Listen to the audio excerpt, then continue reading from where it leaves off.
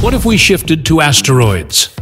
Firstly, if we shifted to asteroids, aliens may start laughing at us as most asteroids are irregularly shaped. Hmm. Secondly, if we shifted to asteroids, we may become extremely rich as many asteroids contain precious metals in them. Hmm. Lastly, if we shifted to asteroids, we may have to live in extremely crowded spaces as most asteroids are very, very small in size. What if Moon was replaced by Jupiter? Firstly, if Moon was replaced by Jupiter, Jupiter may now completely block the Sun. Hmm. Secondly, if Moon was replaced by Jupiter, Jupiter may now start reflecting huge amount of light towards planet Earth. Hmm. Lastly, if Moon was replaced by Jupiter, tides on planet Earth will suddenly get much, much bigger. What if humans shifted to Jupiter? Firstly, if humans shifted to Jupiter, humans may also start living on Jupiter's more than 100 moons. Hmm.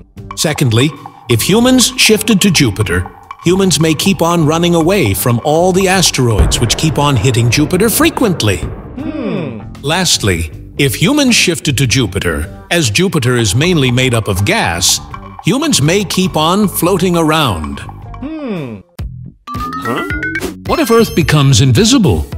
Firstly, if Earth becomes invisible, Earth might take advantage of this and steal Saturn's rings, Neptune's winds, and Jupiter's great red spots.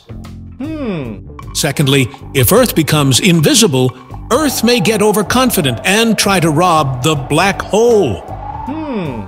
Lastly, if Earth becomes invisible, astronauts might have a hard time landing on planet Earth. Hmm. Why are Saturn's rings disappearing?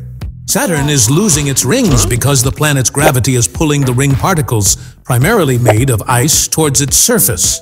This phenomenon is described as a ring rain, wherein ice particles from the rings fall onto Saturn's atmosphere. While the process is ongoing, it is happening slowly.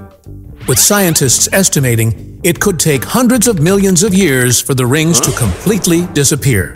Hmm.